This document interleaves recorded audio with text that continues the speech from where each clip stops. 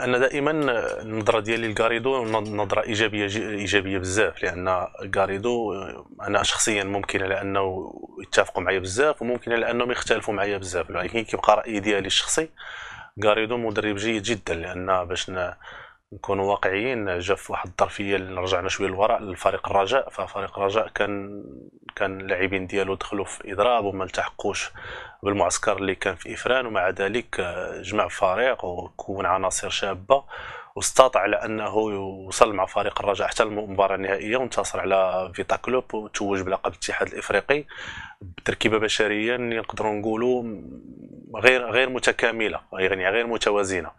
رجوعا المسيرة ديالو مع فريق الوداد. فما يمكنش على أنه يلا جا آه، في الأسبوع الأول آه، كانت عنده مقابلة صعيبة وصعيبة بزاف أمام فريق النجم الساحلي وحاول على وانتصر فيها في لي دو ماتش وتكاليف المباراة ديال النصف النهائي.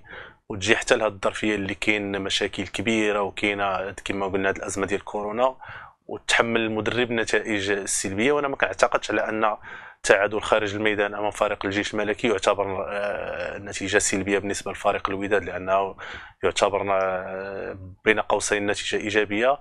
ولكن آه، كنظن على أن المكونات ديال الوداد كتظن على أن الفريق خسر جوج النقاط اللي كتخولي يبقى في سباق على اللقب أنا كنعتقد على أن ممكن على أن الإدارة راهي لها رأي آخر ممكن على أنها كتمشي مع الضغوط ديال الجماهير ولكن على حسب الرأي ديالي ما كانش خصو يمشي قاريدو في هذه الظرفية هذه لأن كان للرجل مازال أنه يعطي الشيء الكثير لفريق الوداد. كنظن على أن المكتب مسير عنده التوجه لأنه يرحل كاريدو ويجيب كاموندي.